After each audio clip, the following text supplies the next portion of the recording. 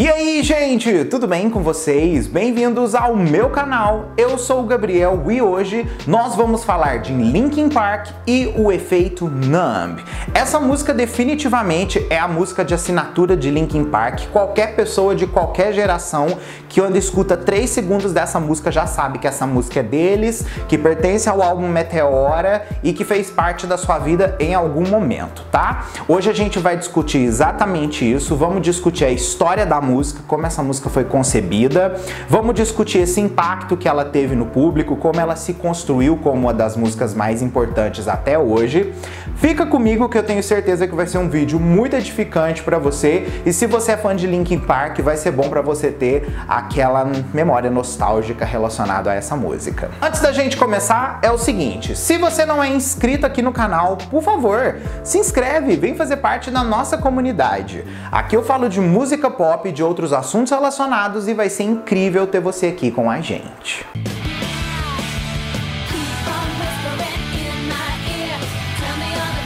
Antes da gente chegar de verdade em Numb, vamos entender um pouco da carreira do Linkin Park até aquele momento que eles se estabeleceram como essa grande banda de nu metal e como eles construíram a carreira deles até que Numb se tornasse o hit assinatura deles. É importante a gente falar isso porque essa evolução toda reverberou no sucesso do disco Meteora, assim como no sucesso de Numb.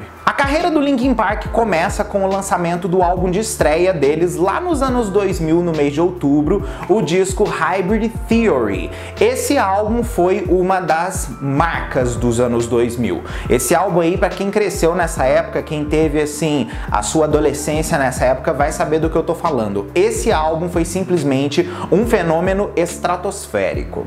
Hybrid Theory marcou quatro grandes singles: One Step Closer, Crawling, Paper Cut e In The End, essa talvez sendo a música mais famosa do Hybrid Theory. Uma curiosidade é que esse álbum só alcançou o número 2 na Billboard, ele não foi primeiro lugar, só que ele conseguiu se tornar o álbum de estreia mais importante do século 21. Então, assim, foi o, o, disco de estreia que mais vendeu, que fez o sucesso mais astronômico naquele momento. Ah, mas onde que isso daí começa de verdade a reverberar em Numb, né? Já que Numb foi lançada três anos depois.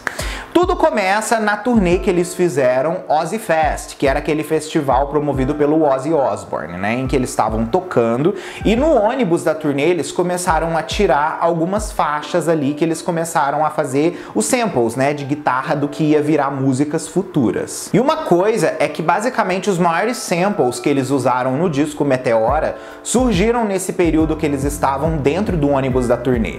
Porque é importante a gente salientar o seguinte, o Meteora, ele começou a ser gravado de verdade, ele começou a tomar seu corpo musical só em 2002. Em 2001 eles estavam fazendo meio que assim, os demos das faixas. Eles não estavam realmente fazendo o material que viria a ser o produto final do álbum. Eles estavam em processo de criação, vamos dizer assim. Inclusive, foi nesse ônibus aí que surgiu Somewhere I Belong, uma das músicas mais amadas pelo público do álbum Meteora. Esse período aí que eles participaram desse festival, de que eles fizeram a Hybrid Theory World Tour, quando eles fizeram aquela outra turnê que veio depois da Hybrid Theory, né, num período ali de oito meses, eles gravaram mais de 80 demos para o que veio a ser o Meteora. Então, assim, eles tinham muito material para a expectativa do público. Eles fizeram esse novo álbum, Meteora, a partir de abril de 2002 até dezembro de 2002, no mesmo estúdio de gravação que foi o NRG em North Hollywood, lá na Califórnia.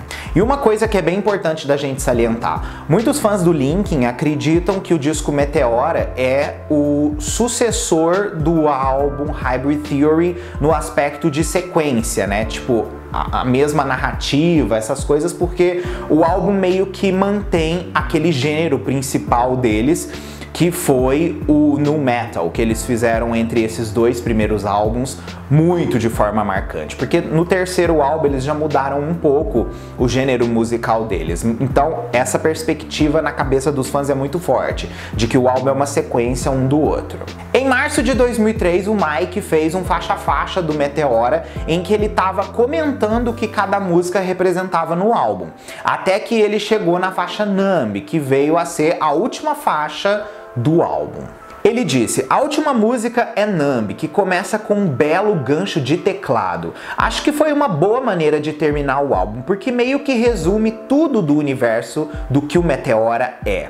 É muito reconhecível como algo que é realmente o nosso som, porém tem um clima que só o disco Meteora possui. Quando você ouvir, poderá facilmente reconhecê-lo como uma música marcante de Linkin Park, mas obviamente toda a atmosfera pertence ao álbum álbum Meteora. Obviamente, esse novo grupo de músicas tem uma forma e tom delas, e suas letras e escritas compostas também possuem seus próprios corpos. Mais ou menos sobre aqueles momentos em que você não tem mais sentimento ou simplesmente não se importa com a sua vida. É quase uma exaustão. É na verdade como nos sentimos no final da turnê do último álbum.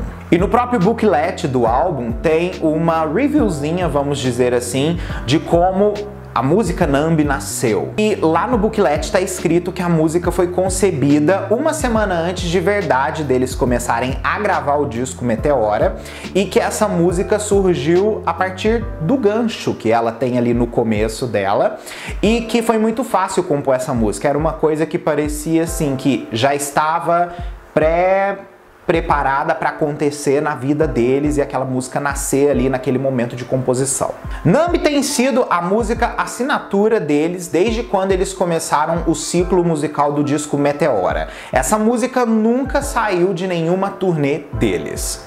Primeira vez que essa música foi tocada para o público foi durante a Summer Sanitarium Tour de 2003 do Metallica, quando eles estavam fazendo shows ali.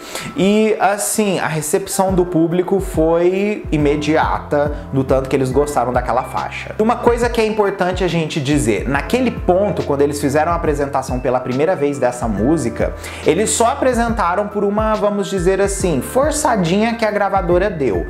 Porque até aquele ponto, a música música não tinha sido single ainda. Então, como a gravadora queria fazer esse teste das águas para saber como o pessoal absorveria se aquela música fosse o terceiro single, eles começaram a tocar essa música e a recepção foi imediatamente positiva. Então a gravadora viu que era a música certa e tacaram como terceiro single do álbum em outubro de 2003. Eles gravaram o videoclipe na República Tcheca, lá numa catedral inclusive na cidade de Praga.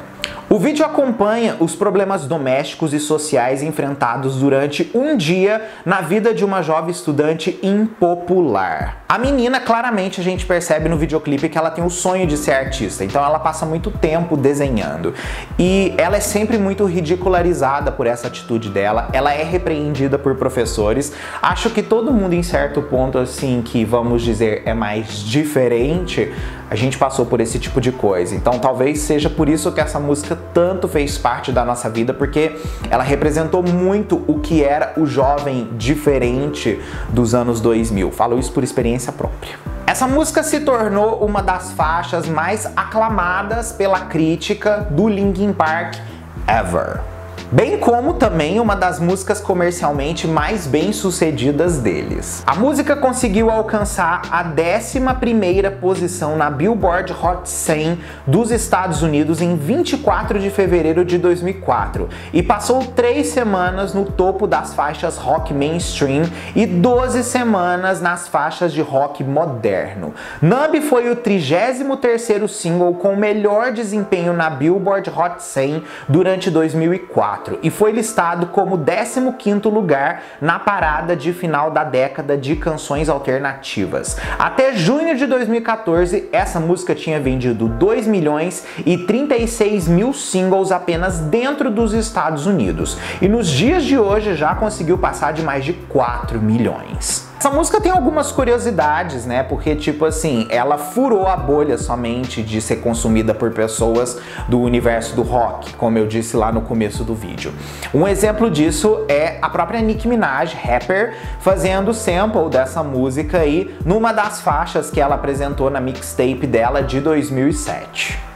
Outra coisa curiosa também foi em um momento que Nambi toca por alguns segundos apenas durante uma apresentação, vamos dizer assim, de um hino nacional. Foi um surto. E tudo bem, a música é um hino? A música é um hino mas foi um surto. Ela foi tocada no lugar do hino nacional de Malta durante o amistoso de Malta contra a Eslováquia em 4 de setembro de 2014.